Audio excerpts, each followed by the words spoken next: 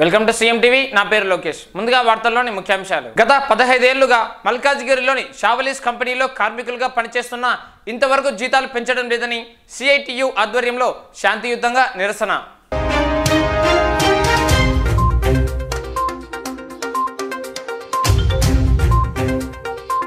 చేతి నుండా పని లేక బ్రతకడం భారమైంది.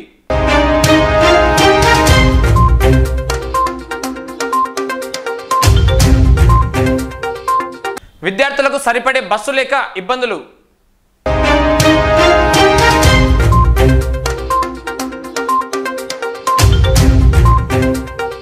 ట్రాఫిక్ పై దృష్టి సాధించండి ప్రముఖ నటుడు దగ్గుపాటి రాణా కిడ్నీ మార్పిడి ఆపరేషన్ విజయవంతం. కీర్తిశేషులు గుర్రం జాస్వా వర్ధంతి సందర్భంగా ఘనంగా నివాళులు. దేవునిగా పూజించే చెట్టు కొట్టేశారు. Power star Pawan Kalyan megastar Chiranjeevi భేటీ. ప్రభుత్వంపై మండిపడ్డ వినుకొండ మాజీ ఎమ్మెల్యే. గత పదహైదేళ్ళుగా మల్కాజిగిరిలోని శావలీస్ కంపెనీలో కార్మికులుగా పనిచేస్తున్న ఇంతవరకు జీతాలు పెంచడం లేదని సిఐటియు ఆధ్వర్యంలో శాంతియుతంగా నిరసన వ్యక్తం చేస్తున్నారు. కనీస వేతనం రోజువారీ ఆరు వందల రూపాయలకు కేటాయించాలంటూ డిమాండ్ చేశారు. కంపెనీ యాజమాన్యం పోలీసులతో రౌడీలతో భయభ్రాంతులకు గురి చేస్తున్నారు. పదహైదు సంవత్సరాల నుండి పనిచేస్తున్న వారికి సరైన వేతనం ఇవ్వకుండా కొత్తగా వచ్చిన వారికి రోజుకు ఆరు వందల రూపాయలు ఇస్తున్న యాజమాన్యం మాకు అదే విధంగా నిష్పక్షపాతంగా వేతనాలు ఎందుకు చెల్లించట్లేదని సామరస్యంగా నిరసన తెలుపుతున్న మహిళా ఉద్యోగులపై చెప్పులతో దాడికి పాల్పడిన షావలిస్ యాజమాన్యం యాజమాన్యం తీరుపై మండిపడ్డ ఉద్యోగులు.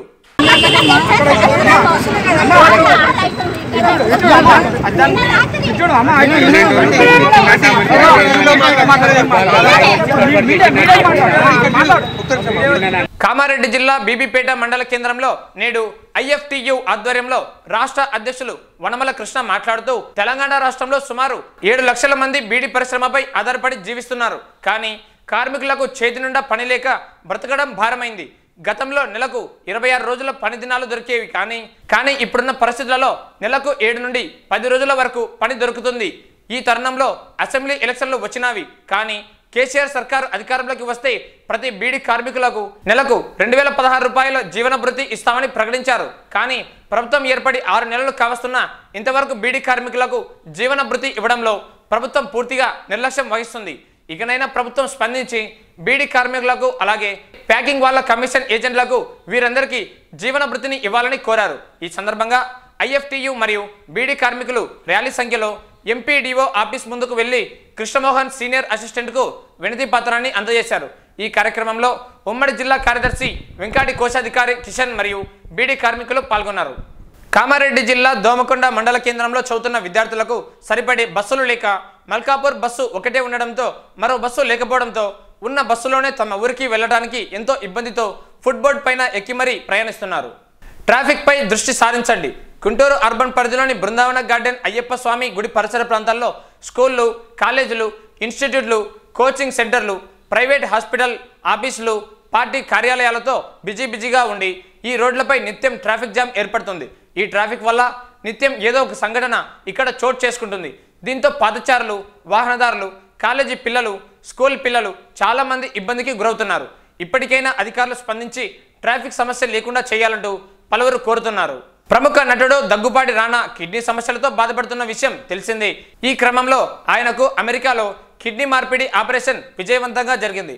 రాణా తల్లి లక్ష్మి ఆయనకు కిడ్నీ దానం చేశారు. దీంతో కిడ్నీ ట్రాన్స్ప్లాంటేషన్ విజయవంతమైందని వైద్యులు తెలిపారు. రానా హైదరాబాద్ ముంబైలో కిడ్నీ సమస్యకు సంబంధించి చికిత్స పొందిన విషయం తెలిసిందే. కానీ ఆయన ఆరోగ్యంలో ఎలాంటి మెరుగుదల కనిపించలేదు. తన కొడుకు రానాకు కిడ్నీ దానం చేసేందుకు ఆయన తల్లి లక్ష్మి ముందుకు రావడంతో కిడ్నీ మార్పిడి విజయవంతంగా జరిగిందని వైద్యులు వెల్లడించారు. ప్రస్తుతం రానా విశ్రాంతి తీసుకుంటున్నారని నెల తర్వాత ఆయన తాను నటిస్తున్న విరాట పర్వం సినిమా షూటింగ్లో పాల్గొంటారని ఆయన సన్నిహితులు చెప్పారు. గుంటూరు జిల్లా వినుకొండ పట్టణంలో నవయుగ చక్రవర్తి కీర్తిశేషులు గుర్రం జాషువా నలభై ఎనిమిదవ వర్ధంతి సందర్భంగా విగ్రహానికి పూలమాలలు వేసి ఘనంగా నివాళులు అర్పించి ప్రసంగించిన మక్కెన మల్లికార్జునరావు. ఇటువంటి గౌరవప్రదమైనటువంటి స్థానాన్ని ఇచ్చినటువంటి మహానుభావుడు జయసభ గారు. ఆ జయసభ గారి పేరుని నిలబెట్టే విధంగా మనందరం కూడా ప్రయత్నం చేస్తా ఉన్నాం. అందులో భాగంగా మరి గౌరవ పెద్దలు మా మాస్టర్ గారు అమృతపూడి రాజారావు గారు మాస్టర్ గారు కూడా అనేక కవితలు రచించడం జరిగింది. ఈ విగ్రహాన్ని ఏర్పాటు చేసే దాంట్లో కూడా ఆయన చొరవ తీసుకున్నారు. ఆ రోజున కూడా గౌరవ పెద్దలందరూ కూడా సాయపడటం జరిగింది. దేవునిగా పూజించే చెట్టు కొట్టేశారు. మున్సిపల్ అధికారుల తీరుపై బట్లంకి ప్రకాష్ ధ్వజం. వందేళ్ళకు పైగా చరిత్ర గల వేప చెట్టుని మున్సిపల్ అధికారులు నిర్దాక్షిణ్యంగా కొట్టేయడం దారుణమని మాజీ కార్పొరేటర్ బట్లంకి ప్రకాష్ ధ్వజమెత్తారు. రాజమహేంద్రవరం ఇరవై ఏడవ వార్డు ఇన్నిస్పేట గోగులమ్మ తల్లి ఆలయం సమీపంలో రోడ్డు వేసే క్రమంలో రావి వేప చెట్టు కలయికతో గల చెట్టుని మంగళవారం రాత్రి నరికివేయడం పట్ల ఆయన నిరసన వ్యక్తం చేస్తూ బుధవారం ఉదయం విలేకరుల సమావేశంలో మాట్లాడారు. ఎవరి ప్రలోభాలకు లొంగిపోయి ఈ విధంగా చేశారని ఆయన ప్రశ్నించారు. ఈ విధిలో ఎన్నాళ్ళ నుంచో ఉంటున్న జనం ఈ చెట్టుని దేవునిగా పూజిస్తున్నారని ఆయన పేర్కొంటూ చెట్టుని నరికివేయడం ద్వారా సెంటిమెంట్ని దెబ్బతీశారని తమ మనోభావాలు దెబ్బతిన్నాయని ఆయన పేర్కొన్నారు. చెట్లను పెంచమని చెబుతూనే మరో పక్క ఈ విధంగా చరిత్రను కలరాసే విధంగా మున్సిపాలిటీ అధికారులు వంద ఏళ్ళ నాటి చెట్లను తొలగించడం ఎంతవరకు సమంజసమని బట్లంకి ప్రకాష్ ప్రశ్నించారు. రోడ్డు మీదకి సెప్టిక్ ట్యాంక్ కట్టిస్తే ఏమి చేయలేని అధికారులు దేవుడితో సమానంగా చూసుకునే చెట్టు ఇలా కొట్టేశారని ఆయన నిలదీశారు. సంబంధిత అధికారుల తీరుపై చర్యలు తీసుకోని పక్షంలో అఖిలపక్ష సమావేశం పెట్టి ఉద్యమిస్తామని ఆయన ప్రకటించారు. ఈ కార్యక్రమంలో పసుపులేటి శేషారావు సత్యనారాయణ నక్కా శ్రీనివాస్ చౌదరి ఇరవై ఏడో వార్డుకి సంబంధించిన మహిళలు తదితరులు పాల్గొన్నారు. ఎవరికి అడ్డొచ్చినా సరే దీన్ని ఈ చెట్టు వల్ల ఎవరు ఇబ్బంది పడేవారు కాదండి మరి.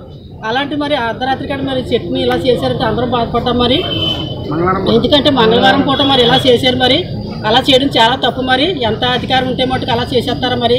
ఏదైనా సరే ఆలోచించి మరి ఒక నిర్ణయం తీసుకోవాలి కానీ అలాగే అర్ధాంతరంగా అలా తీసేయడం చాలా బాధ అనిపించింది మాకు కూడా. నేను సాయంత్రమే తెలిసింది మాకు ఇలాగని. అయితే వెళ్ళి చూద్దామంటే ఆ చెట్టు కొట్టి పెట్టి అనేసి మేము అందరం అనుకున్నాం మా వీధిలో ఉండేది. తీరా తెల్లారులు వేసినప్పటికీ ఇగో ఇలాగా జరిగింది మరి. ఈ చెట్టు తీయడం మాకు అందరికీ చాలా బాధాకరంగా ఉండదు మరి. మీరు మరి ఏం చేస్తారో మీరు ఛానల్ బట్టి ఉందండి. ఇవాళ అనేది కాదు మాకు కూడా తెలిసిన కంటే అంటే ఇప్పుడు నూట ముప్పై సంవత్సరాలు అంటే అండి చెట్టు చాలా మంది అంటున్నారు మా పెద్దలు నూట ముప్పై సంవత్సరాల నాటి చెట్టు అంటే ఇది మరి ఇలా తీసుకోవడం చాలా బాధాకరంగా ఉంది అందరికీ కూడా. ఇప్పుడు ఈ చెట్టు ఇలా తీసేయడం వల్ల ఎవరికి ఏ హాని కలుగుతుందని భయపడుతున్నారు ఈ వేట వాళ్ళు అందరూ. మరి దానికి మరి ఏ నిర్ణయం మరి పెద్దలు నిర్ణయిస్తారో మరి మీరే చేయండి. నా పేరు P Kumari. Power star Pawan Kalyan megastar Chiranjeevi భేటీ అయ్యారు. వీరిద్దరూ కలిసి దిగిన ఫోటో సామాజిక మాధ్యమాల్లో హల్చల్ చేస్తుంది. చాలా రోజుల తర్వాత పవర్ స్టార్ మెగాస్టార్ కలిశారు. వీరు కలిస్తే ఎప్పుడు చాలా ఆసక్తికరంగానే ఉంటుంది. అభిమానులకు కనుల పండగే. చిరంజీవి పవన్ కళ్యాణ్ కలిసి దిగిన ఫోటో ప్రస్తుతం సామాజిక మాధ్యమాల్లో సందడి చేస్తుంది. జనసేన అధినేత పవన్ కళ్యాణ్ తన సోదరుడు మెగాస్టార్ చిరంజీవిని కలిశారు. ఆయనతో పాటు పార్టీ నేత నాదెండ్ల మనోహర్ ఉన్నారు. భేటీకి కారణం తెలియకపోయినా అభిమానులు మాత్రం ఆనందిస్తున్నారు. మెగాస్టార్ చిరంజీవి నటించిన సైరా ఇటీవలే షూటింగ్ పూర్తి చేసుకుంది. స్వాతంత్ర సమరయోధుడు ఉయ్యాలవాడ నరసింహారెడ్డి జీవిత కథ ఆధారంగా ఈ చిత్రాన్ని తెరకెక్కిస్తున్నారు. అక్టోబర్ రెండున ప్రేక్షకుల ముందుకు రానుంది. ప్రభుత్వంపై మండిపడ్డ వినుకొండ మాజీ ఎమ్మెల్యే గుంటూరు జిల్లా తెలుగుదేశం పార్టీ కార్యాలయంలో ఏర్పాటు చేసిన విలేకరుల సమావేశంలో జిల్లా అధ్యక్షులు వినుకొండ మాజీ ఎమ్మెల్యే జీవి ఆంజనేయులు ఇలాంటి గవర్నమెంట్ కానీ ఇలాంటి గవర్నమెంట్ను ఎప్పుడూ చూడలేదు అంటూ విమర్శలు చేశారు.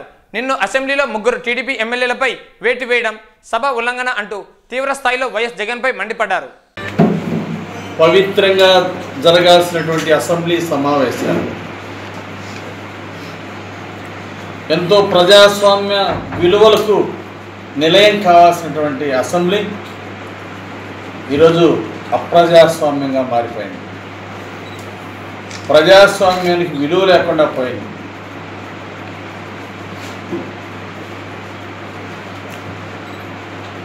ఇది శాసనసభ కాదు అనైతిక సభ అని చెప్పేసి వైసీపీ ప్రభుత్వం నిరూపించింది.